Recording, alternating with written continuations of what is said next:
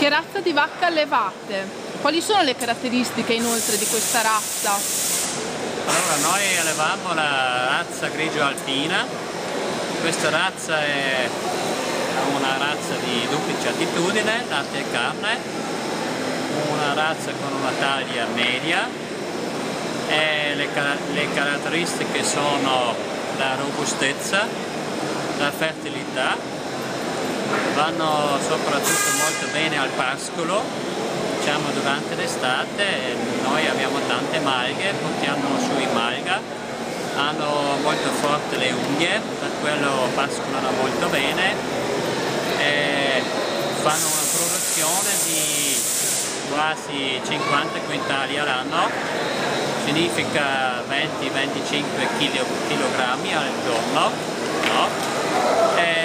Sono molto, molto tranquille, mangiano abbastanza poco, possiamo dare 3 kg di mangime su quei 5 kg e un po' di fieno, qualche d'uno gli do anche un po' di insilata, d'erba, ma il 70% degli allevatori